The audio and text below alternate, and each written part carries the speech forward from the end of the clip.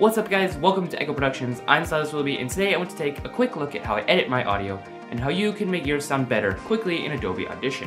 Alright, so I've already got Audition open and my file imported, and you're going to start by hitting the letter T so you have the time selection tool open. Then you're going to need to highlight a section of the noise you want to remove, specifically a section without dialogue. And you may need to zoom in here so you can see a bit better. To do this, hit the equal symbol on your keyboard. Once you've selected it, go up to Effects, Noise Reduction, Capture Noise Print, and then hit OK. Next, zoom back out and select your entire file and go up to Effects, Noise Reduction, this time actually choosing Noise Reduction, and then make sure you're at 75% and hit Apply for now. And that should clean up all the unwanted noise from your audio. Next, still leaving all of your audio selected, go to Effects, Filter and EQ, Graphic Equalizer 20 bands, and each EQ depends on your own personal voice. This is just what I do for mine. Basically, you're making both the ends go up, no higher than 15 however, and coming down lower a bit on both of the very ends. This raises both your bass and treble to really clean up your audio and make it nice and crispy. It's like color correction, but for your audio.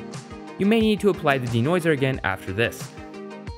Finally, I want to apply compression to make my waveforms more balanced. So again, select your entire clip, go up to Effects, Amplitude and Compression, Single Band Compressor, then set your threshold at negative 12, the ratio at 7 to 1, attack at 70 ms, release at 75, and output gain at 0. This isn't going to give you perfect compression however because I like mine to have a bit more gain to it, since a perfect even voice throws me off a bit, but it will tweak the really low parts and the really high parts and overall give you more balanced audio.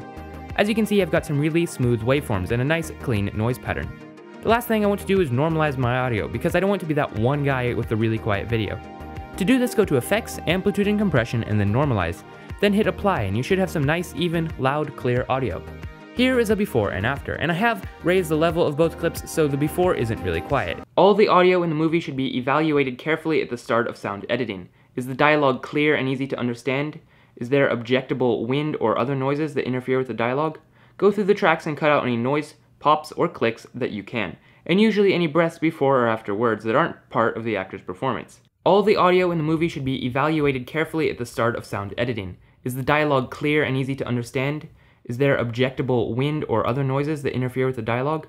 Go through the tracks and cut out any noise, pops, or clicks that you can, and usually any breaths before or after words that aren't part of the actor's performance. Alright, so as you can see, editing your audio is really important. It's at least as important as color grading is to video. But that's all I've got for you guys today. If you enjoyed this video, make sure to subscribe and hit that bell so you're notified every time I upload a new video.